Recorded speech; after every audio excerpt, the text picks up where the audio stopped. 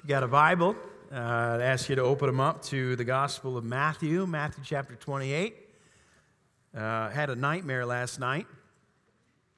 Uh, my nightmare, I showed up and none of you did. And uh, went to open my Bible and could not find Matthew. Now, you laugh at that. It was a nightmare. I am not exaggerating. Now, I'll set it up a little bit. So each year I, I get a copy, uh, the same Bible every year, and I uh, open it up and I sign my name in there, and then I put the year on there. And so it's just kind of a, keeps me fresh and, and keeps me, you know, focused and, and looking for, you know, not relying on the same old notes and so on and so forth. And, and so in my dream last night, uh, uh, I, I, opened this Bible, which my wife had ordered for me, and went to open to Matthew 28 and couldn't find Matthew, and was blaming my wife in my dreams. My wife ordered the wrong Bible. I mean, in the Bible in my dream, the Apocrypha was in there. All these historical notes was in there. Were, were in the Bible, and Matthew was missing. And so I woke up and was mad at my wife. And uh, she She's like, what is that? I told her about it. She goes, You're blaming me, even in your dreams. I'm like, I'm sorry. I just, it's, what happened. But uh, Matthew 28, let's uh, go there together. We're going to pick up in verse uh, number 16, okay? Scripture says this Now the 11 disciples went to Galilee, to the mountain to which Jesus had directed them. When they saw him, they worshiped him, but some doubted. Jesus came and said to them, All authority in heaven and on earth has been given to me. Go, therefore, and make disciples of all nations. Every so often, every few months, we as a church, we talk about the vision of our church, the mission, what the Lord has for us. We talk about it uh, typically every September.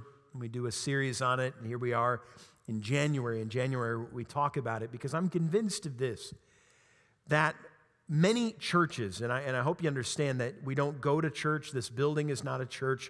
If you know Jesus Christ, you are the church. So, what does God want you, what does God want us on the same team to be doing?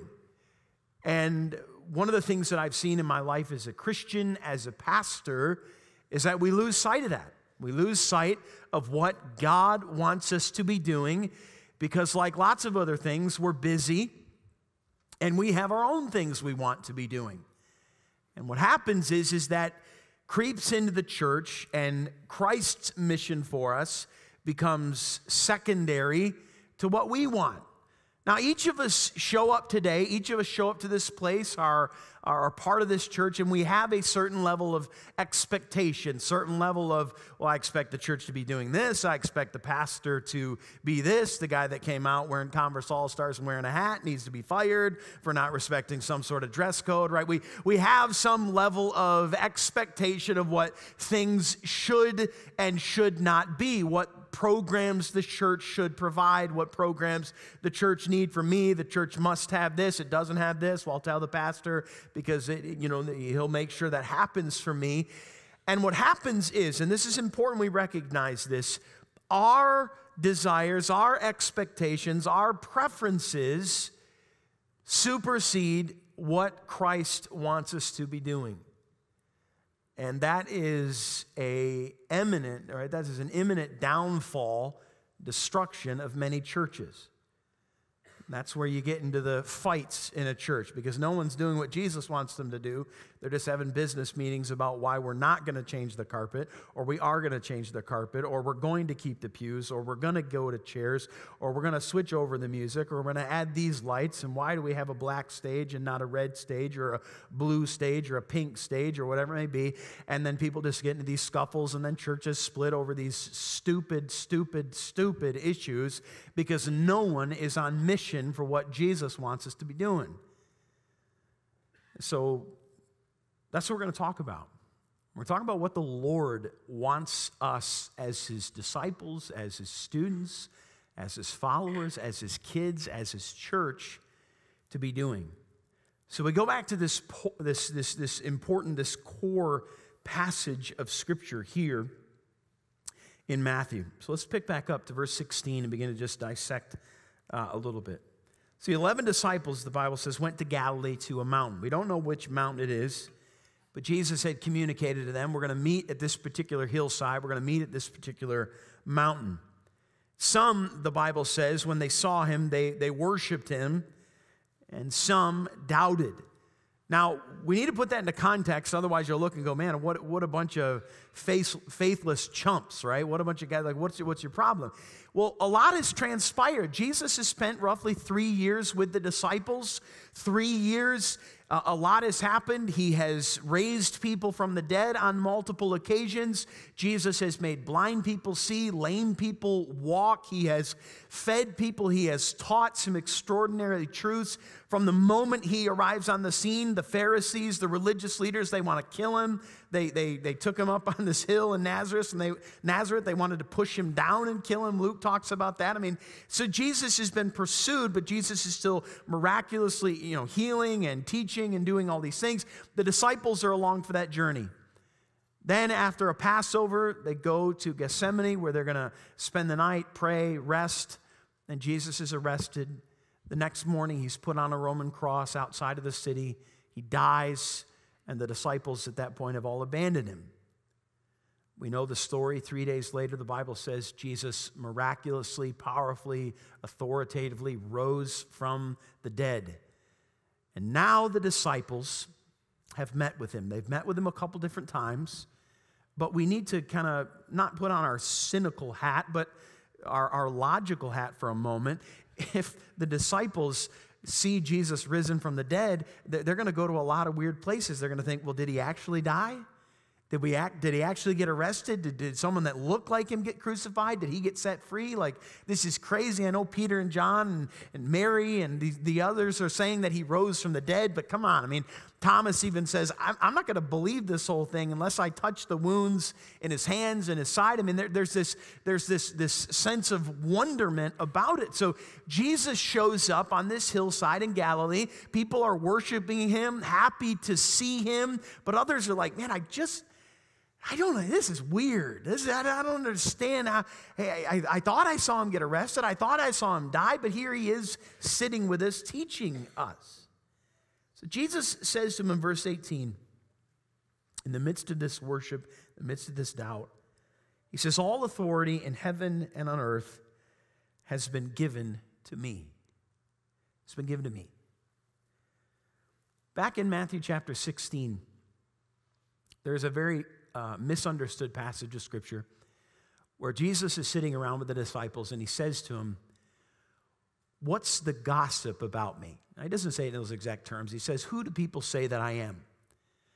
He asks them, what, what's, the, what's the hubbub? What's, the, what's the, the, the, the, rumor mill? What's the grapevine saying about me?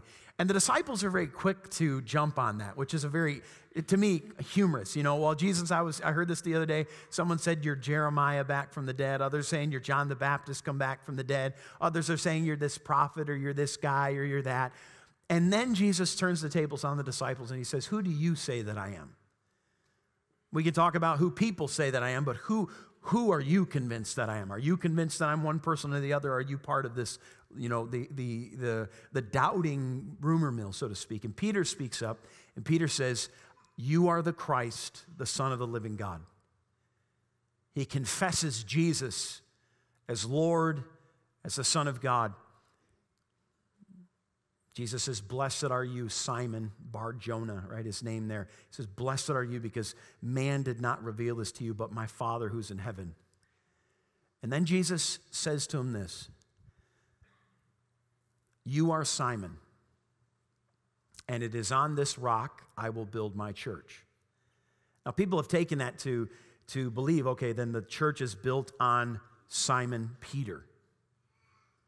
Like Peter is the foundation of the church. Maybe some of you historically, or maybe grew up Catholic, you, you see or saw Peter as the first pope. But here's what I want you to understand Peter, Peter's great. I, I, refer to my, my wife as a Simon Peter fangirl. She loves 1st and 2nd Peter, and every time I have an issue in my life, she's like, Well, I was reading 1st Peter the other day, and I'm like, Oh my gosh, she's going to hang out with Peter in heaven and not me. But anyway, so. Uh,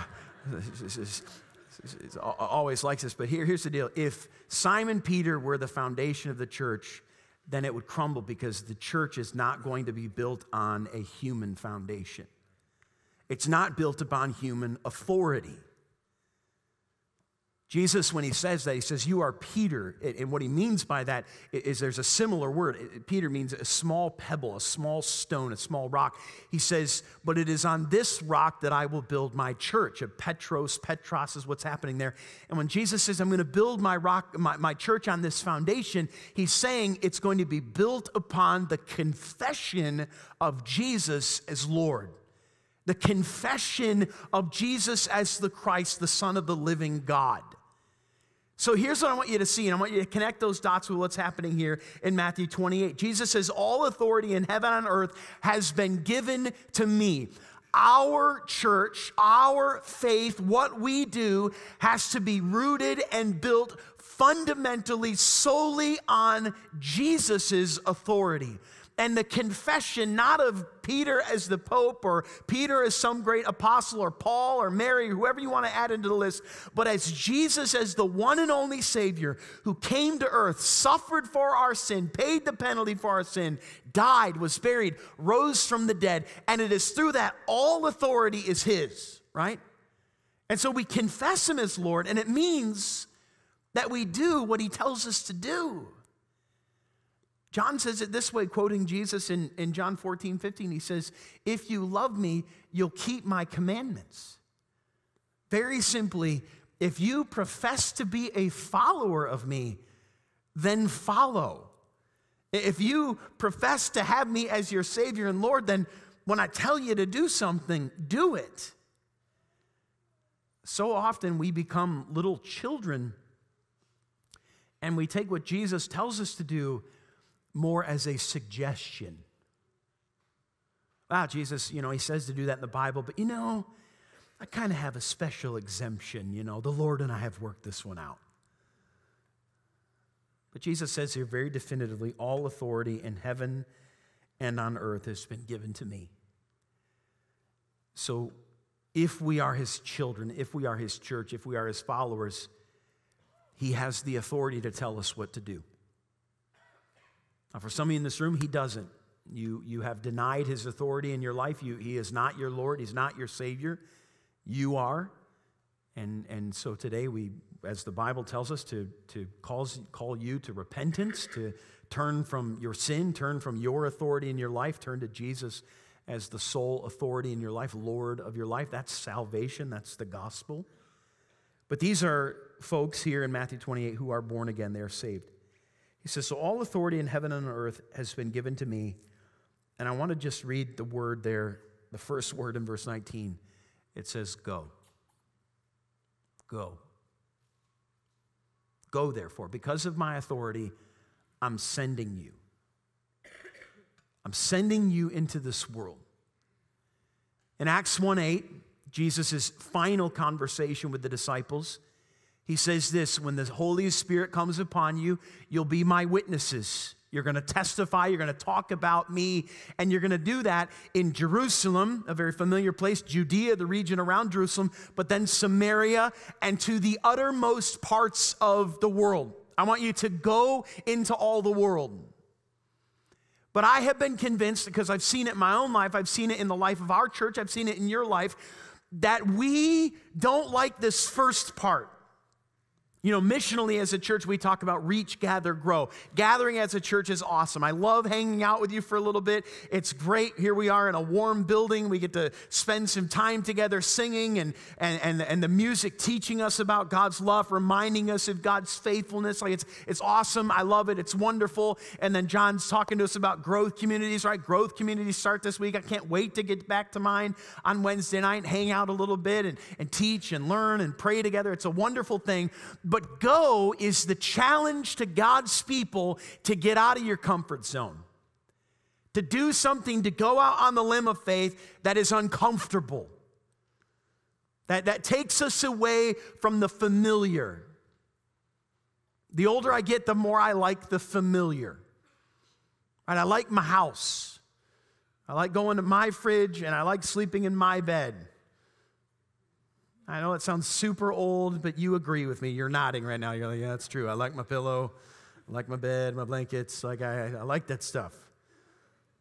But sometimes God says, I want you to go. I want you to go to some places where you're not going to be within the familiar. You're going to go for a long time, you're going to go for a short period. But He calls us to go. And man, do we have lots of excuses for why we don't go.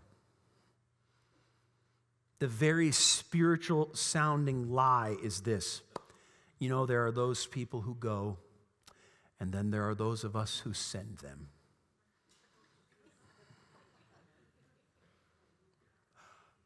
Wow.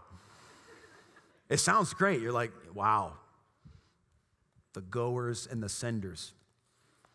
Can't find it.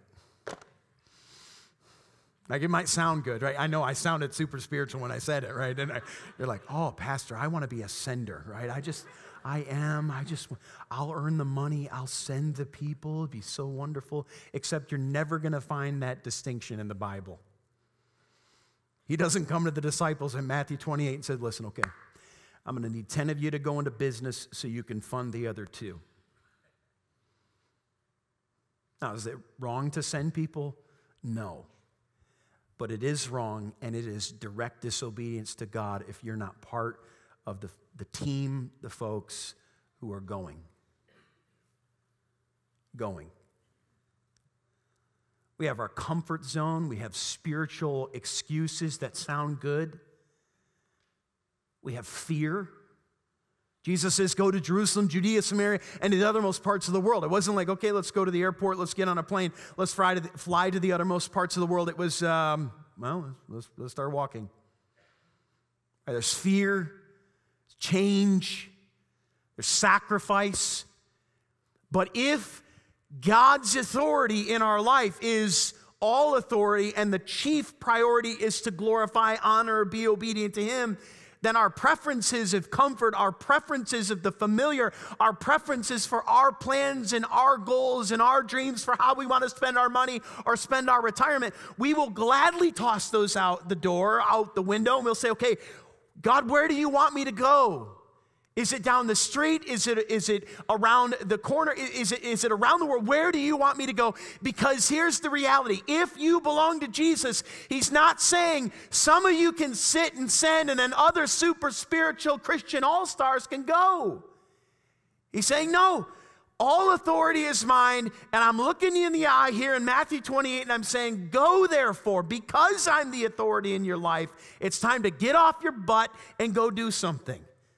That's, I added that, okay, just so you know. Jesus didn't say that. But that's what's happening in the Bible. He said, I'm not content with just a bunch of sitting, learning Christians, right? Sit and learn, give money to send people, but it's time to go. So many of us, the familiar, the comfort zone, our plans keep us from going. For me, over the last few months, it was something else. I'm going to tell you this story, not because I'm trying to be silly or, you know, fist pump or whatever it is in your mind, but our prison ministry has exploded. I mean, just is really unbelievable. I, I, have lost perspective. I'll just tell you that. I sit down with friends and I'll be telling them our prison ministry and I'll tell them the numbers and different things that are going on. And they look at me like, Are you kidding me? I'm like, yeah, it is kind of crazy. Um, seven years ago, our prison ministry started with one. Today, uh, this year, this calendar year, we'll be in somewhere uh, around 60 prisons and growing astronomically. So we're, we're, we're in the Michigan prisons, praise God for that. Ohio prisons, nearly every single facility in the state of Ohio uh, will be in this year invitations to the state of Kentucky, Indiana. We're looking at Pennsylvania. I mean, it's just rapidly, rapidly growing. God's, God's blessing in extraordinary ways. But it, it was, um, it, it took us not, you know, we had to learn some things. We had to learn that it wasn't going to be always our way, that God was going to open up some different avenues. So, for the last six years, we've been going into Ohio prisons, and it's a very standard setup. We take motorcycles in, the band goes in, we have Rodney who does his thing. My dad speaks. We hand out books. We one on one evangelize with guys. It's awesome, uh, ladies, men. Uh, it's wonderful. It's a wonderful thing. Well, quickly we're realizing that uh, some prisons are not going to let a full band in, some are not going to let motorcycles in. But we don't really care about that because it's not about showing off motorcycles or some musical talent. It's about taking the gospel of Jesus Christ to people. And so, one of the ways that they'll let our group in is via sports. So, typically, uh, softball is very uh, popular. So, we'll go, we can go and play softball.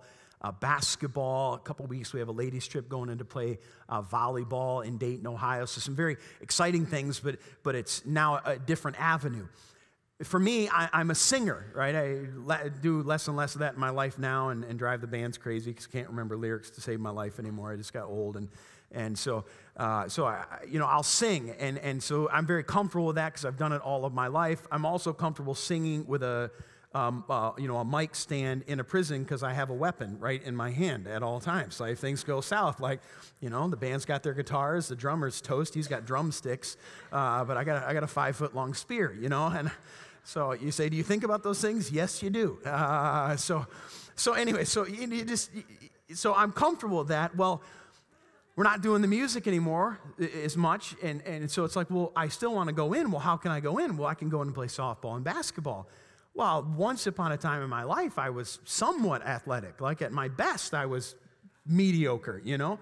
And, and, and so it's like, man, well, I had an issue. And I'm not even trying to say this to be funny or silly or, or look for praise or care or anything like that, but was overweight. And so I'm like, well, I want to go to the prisons and be useful for the Lord, but I can't get my caboose up and down the basketball floor weighing what I do. And I'm like, oh gosh. And it was like, I want to be used by God. I got to lose some weight. Now, I'm not trying to tell you, like, this is the weight program to go with. For me, it was stop eating Buffalo Wild Wings at 10 o'clock every night. You know, what I mean, but it was things like that. So, so what I did was I started very seriously going, okay, I, I want to go play basketball. Not because I'm going to be a good basketball player anymore, right? I'm 36 years old. I'm slow, but okay, I need to at least be competitive and, and, and, and put in a few minutes, you know, in the game. Well, I want to do that because I want to have the credibility to be able to share the gospel. So, what do I have to do? I have to get over, I have to lay down some things in my life, get over a barrier in my life to do that. That was for me. For some of you, it's fear. It's, it's fear of going somewhere, being a part of something you don't fully understand. But none of those excuses are validated here in Matthew 28. He says, What? All authority is mine. And if you're saying, I'm the risen Christ, if you're saying you're my child, if you're saying you belong to me, then I'm the authority in your life. Your preferences, your plans, your ideas, your agendas are lesser, less priority. I want you to go. I want you to go, therefore. I want you to go into all the world. Church, I'm very happy that here in Goodrich we're growing. I am. 2017 was an extraordinary year. For us as a church, we saw some incredible growth. Our gatherings grew uh, roughly 18% over 2016. Growth communities grew 16%. Now, I didn't figure out these numbers. The only reason I know them is because someone told me them this last week.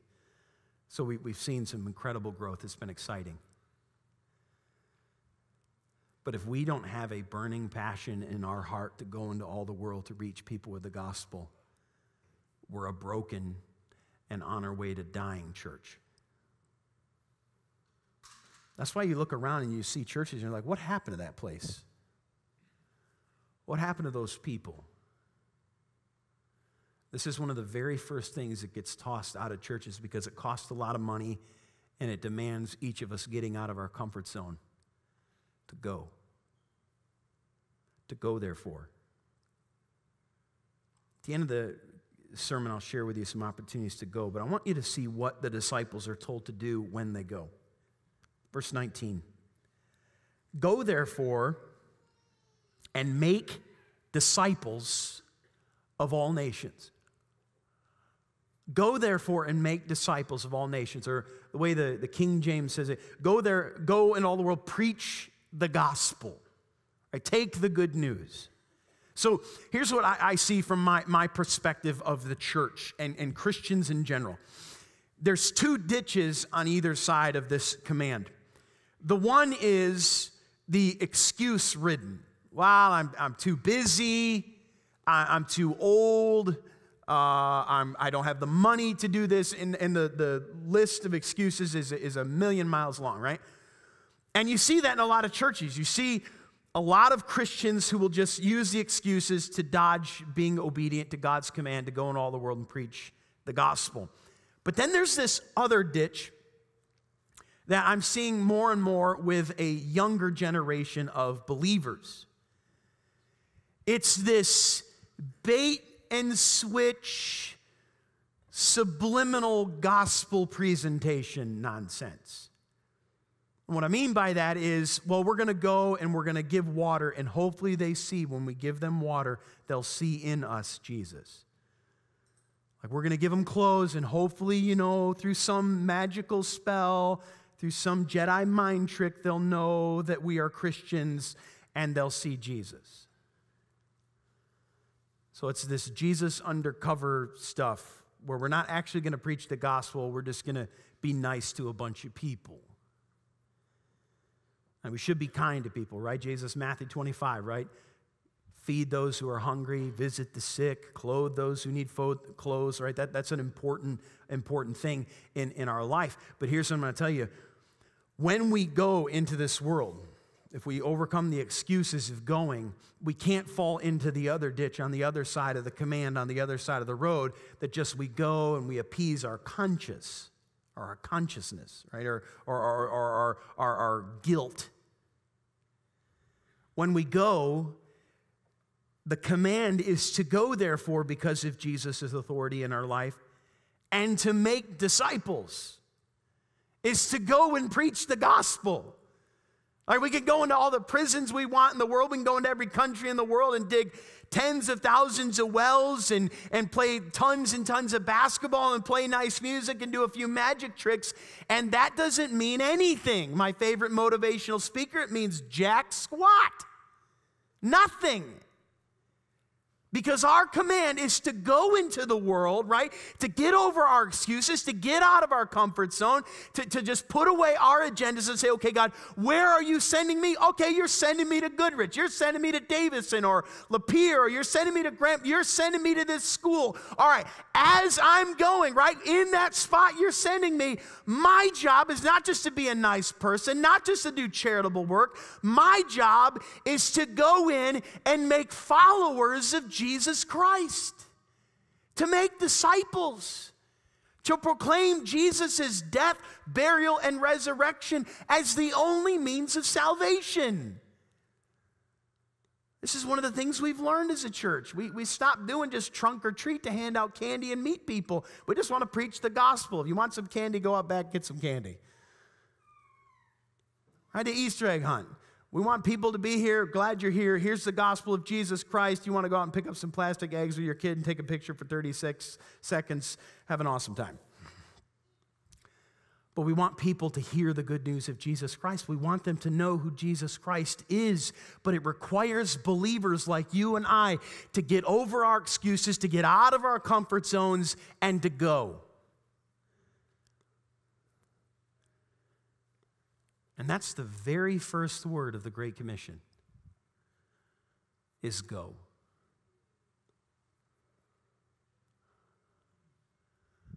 So now you have the responsibility, if Jesus is the authority in your life, to ask him the question God, where are you sending me? Where are you sending me? This year we have mission trips, multiple mission trips going around the world, different places.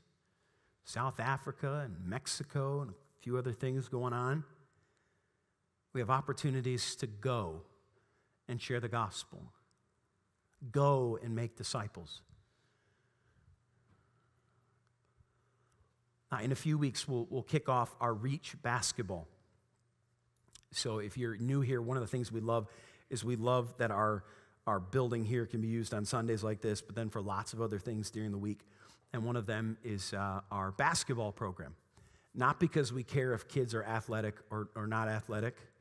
Okay, we, we, we don't want to play basketball, great. I, I don't care. The reason we do it is because at halftime, for every game, we share the gospel.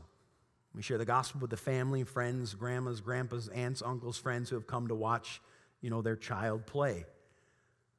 Several years ago, uh, I was a coach for, up, uh, for our, our Reach basketball. I was a coach for this. And it was one of the worst things Jesus has ever told me to do in my life. I just said, I'm like, yeah, I'll, I'll coach some kids. They assigned me the threes, fours, and five year olds. They don't play basketball. They play something called basketball that's more like rugby, football, and duck, duck, goose mashed up together. I mean, it was like, you know what? If you'll dribble the ball once, we won't call traveling, right? I mean, just, and you can dribble with two hands. We, we won't even count that. I mean, it was just, it was, but it was sweet spending time with these kids, but man, it was, it was really frustrating. But it was an incredible opportunity to go. They said, Well, you didn't really go anywhere. Yeah, yeah, I, I gave up a night of the week to do practices. And every Saturday morning, we got here early to make sure we're here to coach a game. Do you know one of the things we have a hard time getting people to do is coach reach basketball? They said, Pastor, you're laying on the guilt real thick. I'm not trying to guilt you into this. I'm trying to help you understand that the opportunity to go is not just to get on an airplane and go around the world. The opportunity to go is right here to sacrifice a few hours a week on a night and then to get here on Saturday morning to give up your Saturday morning sleep in or whatever it may be to get here to help share some kids, to share the gospel with some children. That's an opportunity right here. Few months uh, from now, which is crazy how fast it's coming, Easter is going to be here.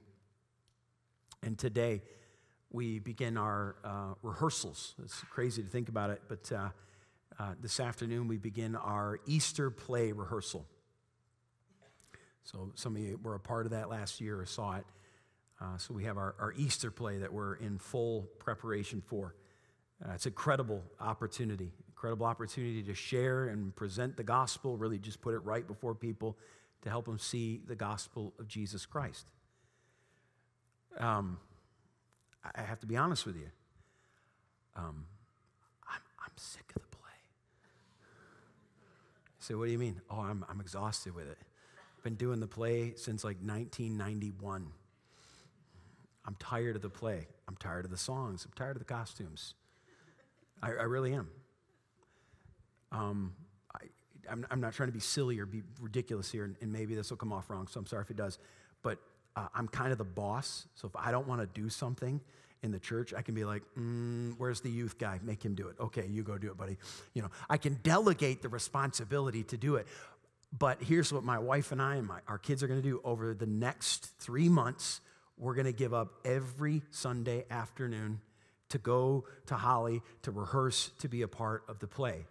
Not because I love to play, not because I need to do more play, not because I want to be on a stage and sing, but because I want personally and I want my kids to be a part of going into the world to share the gospel of Jesus Christ with people who will never get a chance to hear it.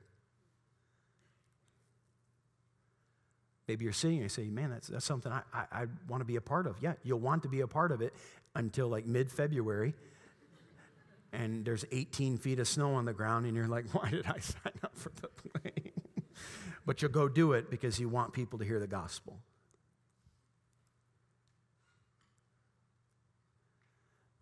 Some of you are sitting here saying, I'm not, I'm, I'm, I'm not a singer, and I, you know, you don't act fine.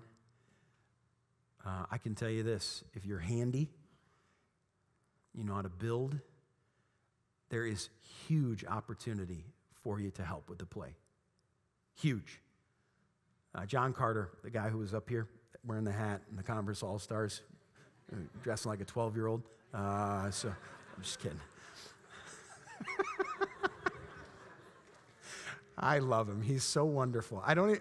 We put that guy in charge of the money, by the way, for the church. Just think about that. So, but he's, he's wonderful. He's my dear friend. And he, he had a, he calls it a mild freak out. He had a meltdown yesterday via text. You ever get a text meltdown? It's real funny when someone's melting down in text because it's a text. You, you, don't have to answer the phone. You can just let the text go through and you can watch them like get longer and longer and their emojis get crazier and crazier. And you're like, wow, he's freaking out. So we have our, our set team going and building things. And he texted me yesterday. He said, I've done all the calculations. We need, with our current team, we need 36 extra days to get everything ready. Now, he's exaggerating because that's how it is. It's probably more like 26, but you know, I'll give him the 36. The point of the conversation was the team that's in place needs more help.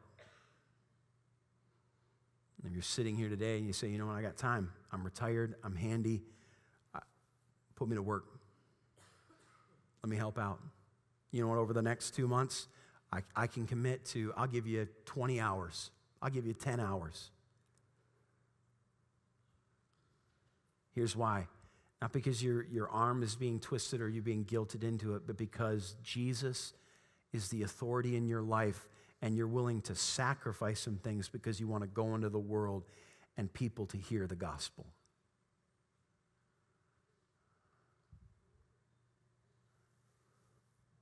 There's a passage of scripture that I read this week. It was in uh, the Gospel of Luke. I just want to read it to you and, and we'll wrap up here. This is early on in the ministry of Jesus in Luke 5. Jesus is teaching from Simon Peter's boat. It says, And when he had finished speaking, this is Luke 5 4, he said to Simon, Put out into the deep and let down your nets for a catch. And Simon answered, Master, we toiled all night and took nothing. We, we worked all night. We fished all night. Uh, we've done all this. He says, We toiled all night, we worked all night, and nothing happened. And then Peter says this, But at your word, I will let down the nets. And when they had done this, they enclosed a large number of fish, and their nets were breaking. They signaled to their partners in the other boat to come and help them. They began, uh, they came, they filled both boats so that they began to sink. When Simon Peter saw it, he fell down at Jesus' knees, saying, Depart from me, for I'm a sinful man, O Lord. I, did my thing. Here were my plans. Jesus said, let's, let's, let's go now. Let's go do this. They set down their excuses, they set down their agendas, and they got to experience, they were able to experience a miraculous catch because they were willing to do things in God's timing and God's ways. My wife pointed out something to me about this passage between our gatherings that was so great. She pointed out the fact that um, they were doing it on their own before, but then when Jesus was in the midst of them is when the miraculous happened the miraculous. I don't know what your excuse is or your concerns. I don't know your reasons are for not going. But guess what? I've had to learn, and I think all of us need to understand this. They don't hold up.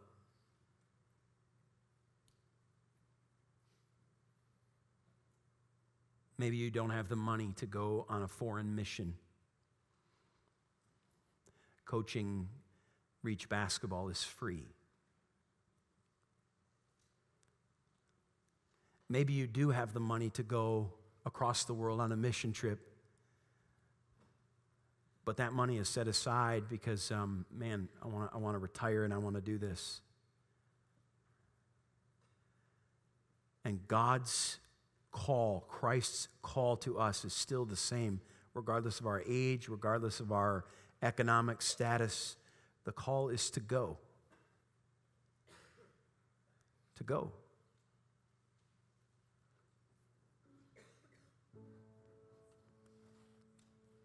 I laugh about this, my wife and I do from time to time. I don't, I don't even know if I've ever publicly talked about it. But in 2003, my wife and I were graduating. I was graduating from college. My wife and I were living in Texas. We were going to move back to Michigan. And I got two job offers. The first one was my dream job. I mean, the dream job of my life to be the children's pastor at my home church where I grew up. And uh, I was so excited, you know, get to go uh, just run the children's ministry. My wife was going to be the, the preschool director, and we were, we were just so pumped about it. And I'll never forget it. It's back in the day when we had fax machines. Uh, one of, you know, kids, those are, uh, I can't even explain. It's like an email, but it prints out on its own and uh, it's his phone that's weird and makes a weird noise. But, anyways, I digress. Fax machines. I remember the fax came through. My wife showed it to me, and it was, uh, it was the dream job offer for both of us. And then it was a second job offer to come and be the campus pastor at Atlas Community Baptist Church. And I remember getting the fax going,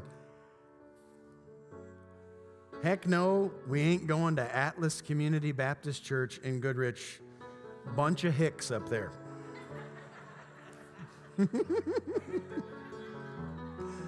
right?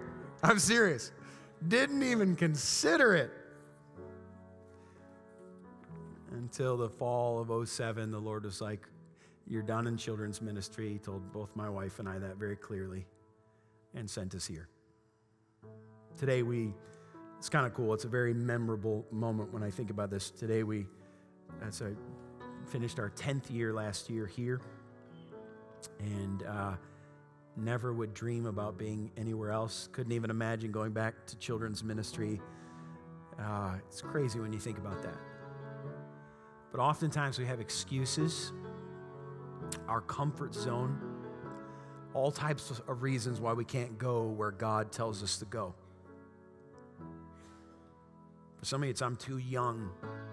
I'm, I'm not smart enough. I don't know enough about the Bible. And God is saying, Go. He says, I, I, will, he says at the end of the passage there in Matthew 28, I will never leave you nor forsake you. I'll be, I'll be with you to the end of the age. Wherever I'm sending you, I'm going before you and I'm going with you. So, where is the Lord sending you? What opportunity to go into all the world to preach the gospel is He laying before you? Please do not miss it. And more than that, don't be in disobedience to the Lord. If He's calling you there, go. You say, well, Pastor, that means I got to leave our church. I got to go somewhere else. Okay, I'm not pumped about you leaving. Well, some of you I probably would. No, I'm kidding. I'm kidding. I'm not pumped about you leaving, but if God's telling you to go somewhere else, I'm not the boss here. He's the authority, right? Our church is built upon His authority. If God comes to you and says, go somewhere, go. Don't delay.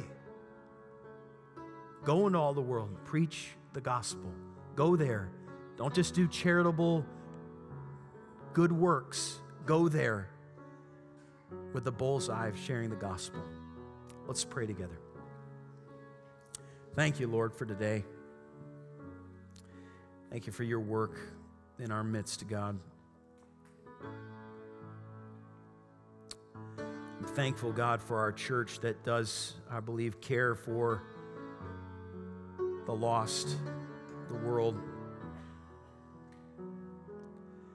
But I pray that it's not just a a burden in our heart that just kind of sits. Lord, I pray that it's a fire in our soul that motivates us to go into this world, to share the gospel. Thank you for today, Lord. Just love being together, love being together as a church, singing and listening to your word, and just a joy, Lord. So please bless. In Jesus' name.